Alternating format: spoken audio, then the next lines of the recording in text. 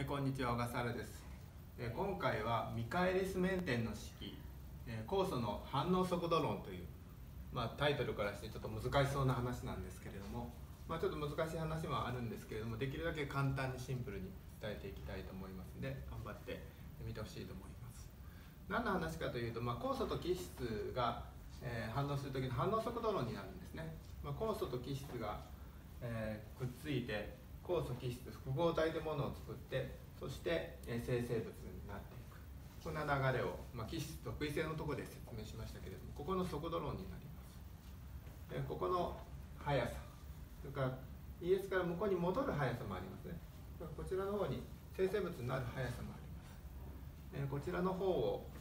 えいくつか実はちょっと後で詳しくやりますけど、まあ、いくつか禁じしてですね最終形をちょっと見せておきたいんですけど最終的に、ミカエレスメンテの式と今日この式を導きたいと思います。でこの式が導けますとこの S 基質の濃度と反応速度に対するこのグラフを書くことができます。このグラフを理解する、えー書くためのミカエレスメンテの式、えー今日この誘導をえしていきたいと思いますので、えー最後までぜひ見ていただきたいと思います。はい、では、えーこのミカエリスメンテの式を、えー求めてみたいんですけれども、まあこれ実はいくつかちょっと禁じをした状態であの近似的に求めていきたいと思います。でこの方法はですね迅速平行近似という方法で、えー一番粗い近似なんですけれども、まあ、一番分かりやすいしあの基本的なことは分かりますのでこの方法で近似していきます。どういうふうに近似するかといいますとこの酵素と基質がくっついて、えーコンプレックスですね複合体を作る。ここはすごく早くえー行われます。それから乖離する方も早い。この2つの反応は早くてすぐに平行に達するそういうふうに仮定します。そして遅いのはここのところで、えー、ES から生成物ですね、えーできるところ。ここが遅くて立足段階であると。こんなふうに仮定します。ですので仮定しましてはもう K1 と K-1 ですね。ここの速度定数は大きいけれども K2 が小さいという仮定です。それから反応速度でいうとここの V1 と V2 は速いんだけれどもこの V3 が遅くてあすいません、えー V1 と V-1 が、えー速くて V の2が遅くてここの段階が、えー立足段階である、まあ、そんなふうに、えー仮定していきます。速度式はこれはまあ普通にですね V1 は、えーこの積になります。ので K1 の ES v-1 は K-1 の ES 向こうですね、えーで V2 が、えー K2ES この仮定のもとに、えー近似的に、えーこのミカエスメンテの式を求めてみたいと思います。そうするとどうなるかと言いますと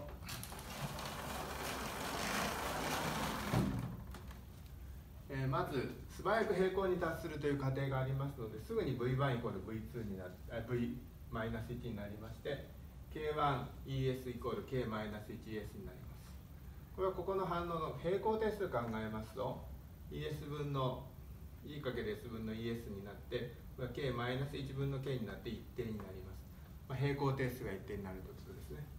でここでですねこの逆数を考えます。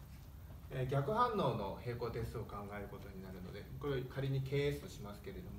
もう一分母を逆にした形になりますので ES 分の E×S でこれはここも逆になります。K1 分の K マイナス。でここは一定の数字になります。これを括弧1とします。で実はこの KS がですね乖離定数乖離反応の平行定数であってこれは後で説明しますけど未乖離定数でもあるということなんです。そして、えー全体の速度を決めているのは V2 です V2 は K2ES でえー書かれる。ここが仮定になります、えーさて全、えー、酵素濃度ですね。E のトータル ET と書きましたけど。これは ET が2つの状態で存在します。こうわかあの単独でいるものと、えーサブストレートの基質とくっついている状態のものと2通りになってその積が E のトータルになっています。やりたいことはですねここは式変形なんですけれどもこの1式と3式からまずは E を消します。E を消して ES イコールなんとかと。いう形に持ってってこの ES をここに入れたいということなんです、えーですのでここはちょっとただの式変形ですけれどもえやれそうな人はここから、えやってもらって次を見てください。では、えここは計算なんですけれども、まあ、この1式と、3式から E を消すそして ES イコールの形にして、えそしてできたらここに入れる、まあ、そんな作業を実際にやってみるとこうなります。1式3式1式側からまず E イコールの式にしてしまって E を消しちゃいます。1式側のここが左側ですね。それから3式側がこちらになります。でイコールでつなぎました。これでもう E はなくなりましたのでちょっと ES イコールの形にしたいので ES をまとめてちょっと整理していきたいと思います。この ES を左側の方に移行させてそこんな風になります。で最終的に ES イコールの式にしますので逆数になってこの4式が ES を表した式になります。でこの ES をですね2式に代入したいんですね。ここが全体の反応を決めるところになります。この K2ES のところに今計算したこの値を入れます。そうするとこんな風な形になるんですけれども実はこの KS 乖離定数がこれが実は見返り定数 KM になります。そしてここの K2×ET のとこですね。この V の最大値。えこれは ES が最大になる時なんですけれども先ほどの3式から、え最大値とした E の t ですね。全部こちらの式に持っていった時が最大値になりますので K2ET のことを Vmax と表します。そしてここ Vmax と表して表してこの8式のこの黄色で書いたところ。これが実はミカエリスメンテンの式と。いうことになります。はい、では次にですね今求めたこの見返りスメンテンのこの式をグラフで表してみたいと思います、えー、横軸が S 縦軸に V を取ります。そうするとどうなるか、えー、まず S が K に、えー、KM に比べて十分小さい時、えー、十分に小さい時はですね、えー、S の方が無視できますのでその定数かける S になりますので V は S に比例します。これがこのスタートのとこですね。最初はここが比例関係がある。それから逆に S が KM よりずっと大きい時ですね。ずっと大きくなると今度 KM の方が無視できますのでそうすると V は VMAX に、えー、収束することになります。これはグラフでいうとここの話ですね。ここがずっと行きますと限りなく VMAX に近づいていきます。でこのエリアでは V は S にも無関係になって一定の値を取ることになります。それからもう一点ですね。S に Km を代入する。S に Km を代入しますとちょうど2分の 1VMAX になります。ですのでこのグラフで、えー、S のところが Km の時にちょうど2分の 1Vmax になると。この点を必ず通るということで、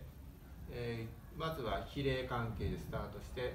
km 分の2分の 1Vmax を通って最後は Vmax に収束していく。こんなグラフになることが分かります。そして 見返り定数 km の表すこと何どういう意味かと言いますと実はもう乖離定数 km だ、え ks とイコールだと言いました。es 分の es、え k1 分の k マイナス